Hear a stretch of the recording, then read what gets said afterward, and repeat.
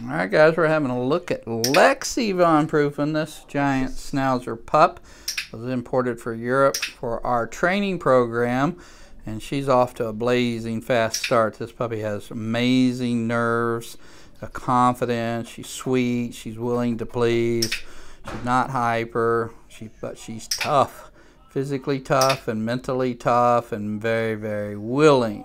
And I realize that a black dog against a black curtain is kind of hard to see, so I'll get a little closer. So shake hands, targets the hands nice, crates well, rides well, obviously learning behaviors quickly and has a good attitude. So that's important, important, important. Once again, great genetics. The father was an amazing dog.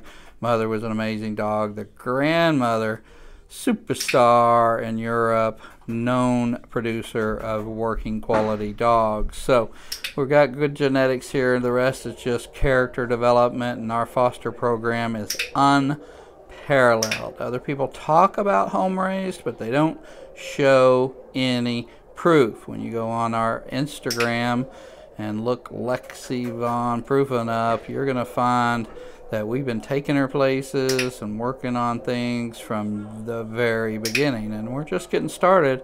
So once again, there's going to be a lot of development of this dog.